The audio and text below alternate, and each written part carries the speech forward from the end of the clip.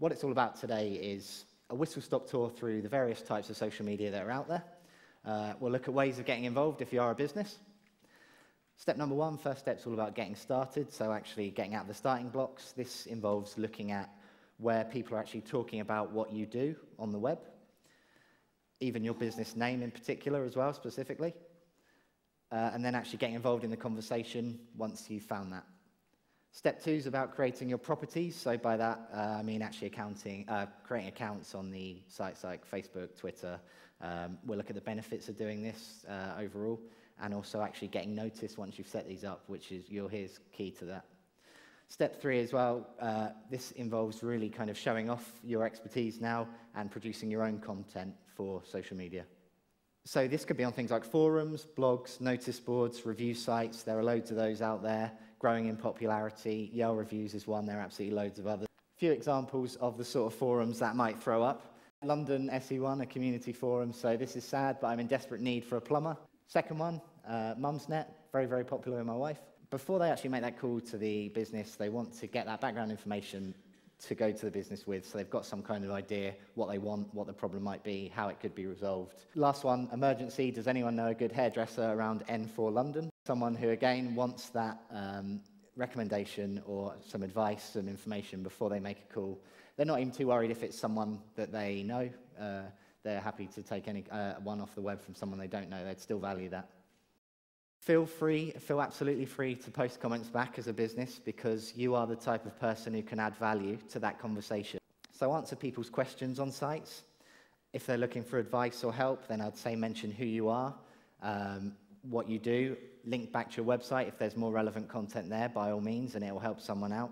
So to kind of recap that first step, get onto the relevant forums and websites that are applicable to you and where people are talking about what you do and the services you provide.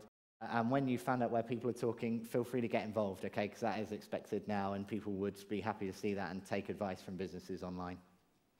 So, step two this is all about actually creating properties for your business on the sites like Facebook, like Twitter. I think it is also worth noting um, a few points around getting people to actually look at these accounts once you set them up, because you have to let people know you're on there. That's a, a key thing lots and lots of businesses fall down here, um, big and small. They, they build it, they think because we're there, people will come. It's definitely, definitely not the case. Um, so I'd say you need to add references wherever you can if you do decide this is for you. Put references on things like your email signature, invoices, business cards, your brochures. It's a good idea to think about your tone of voice too.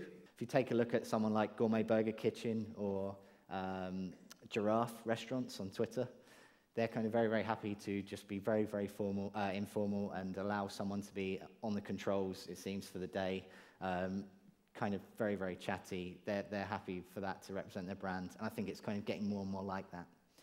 Consider how you're going to see this through as well. So if it does start to work for you and you think it's going well, how are you going to uh, scale this up in three months, in six months? How are you going to resource it? if you've got to put this initial kind of thought into it, then what am I going to have to do in a year's time if this works out? How's it going to work for me? If you want to stand out from the crowd, a great way to do that is to actually write content on behalf of your business. Lots and lots of small businesses are doing it, and in lots and lots of different sectors. Have a look at Yell Know How as well. Um, that is the, some blogs we have on Yell you can find them off the Yell homepage. Here's the tools I mentioned earlier and a couple of other ones if you wanted to note them down. Google Alerts, as I was saying, was a, a great one to sign up for to kind of monitor those forums. Hootsuite and TweetDeck, very, very good if you've used those or if you've heard of those. They allow you to monitor your accounts in one program or one screen. They are free, so check those out. Um, Hootsuite we use at Yell. Uh, Tweriod's a good one. That uh, lets you, uh, you, you use that to analyze your Twitter account and it will tell you what the best time of day is to tweet uh, because that's when your followers are online.